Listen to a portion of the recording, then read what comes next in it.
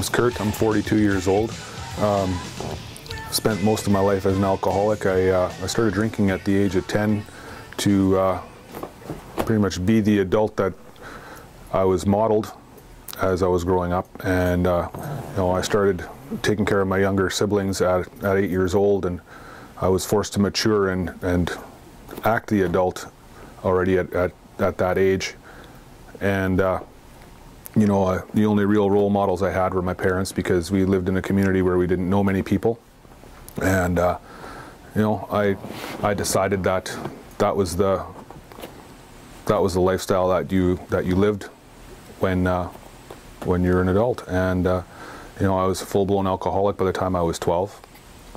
And uh, things just escalated from there. When I was 13, my parents got divorced, and so the, the responsibilities were piled on even higher and I, I, rose to the challenge and still managed to maintain good grades in school. I still managed to take care of my brother and sister. I, I still, uh, I still uh, had after-school activities. I played sports. I had, uh, I had a part-time job, and I, I managed to do everything well, all the while being unknowns to most people, uh, a, a raging alcoholic and uh, that carried on for many years. I found jobs where it was convenient and easy for me to obtain alcohol and, and live that lifestyle. I worked in bars, hotels, restaurants.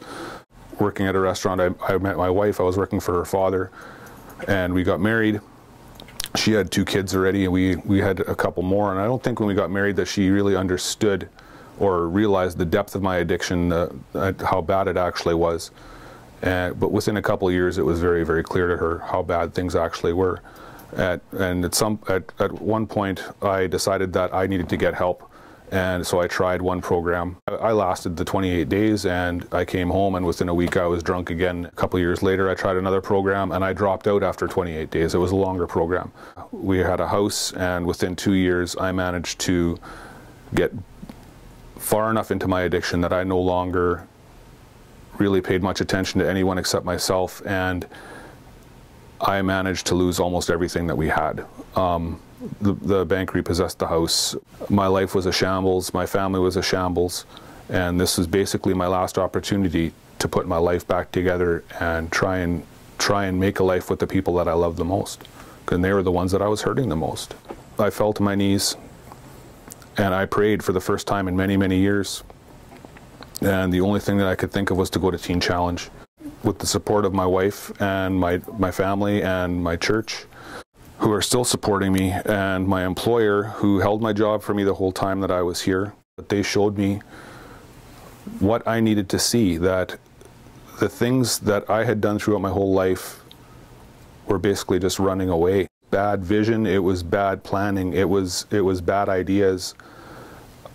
They showed me the way that I needed to take, that I needed to see, I needed to relearn how to see life, relearn how to make decisions. You do devotions every morning, you hear a lot about God from morning till night, and that's exactly what I needed. Teen Challenge didn't save my life. Jesus Christ saved my life. Teen Challenge is one of the greatest ministries that I know of to help people, to help addicts, to help people that, that can't see their way through life, that can't, that have no control over their own life. John 10:10. 10, 10. For the thief comes to kill, steal, and destroy, but I've come to give you life and life more abundantly. When I look behind me, there is nothing but destruction, and when I look ahead through Christ, there is nothing but life, light, and love.